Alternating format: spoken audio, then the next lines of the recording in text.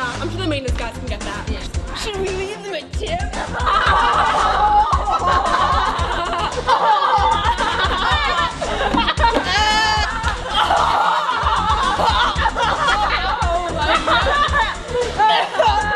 Hold on there, you privileged whippersnappers.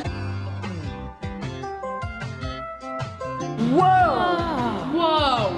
It's former Riverdale headmaster Roger B. Boocock. That's right, kids. It's me, back from living as a human portrait in your library to deliver one of my world famous Boocock blocks. Oh, boy slash girl slash gender neutral. Lay it on us, sir.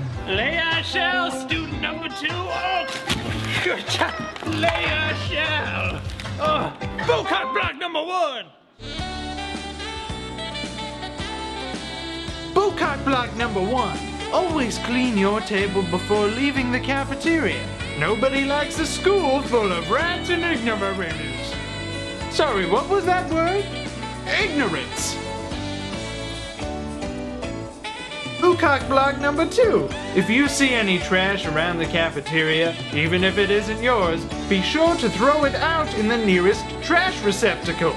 Think of it like charity work, except the kind that doesn't look as good when you post it on the Facebook. And finally, Boocock block number three.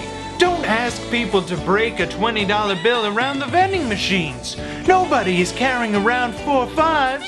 Do what I do and carry a pocket full of Sacagawea dollars wherever you go. Save those big bills for when those seniors host a party. Now those are my lessons for today, kids, and do you know why you should believe me? Because you're an old white man wearing a suit? No, because if you don't, I'm gonna haunt you in your sleep. Thank you.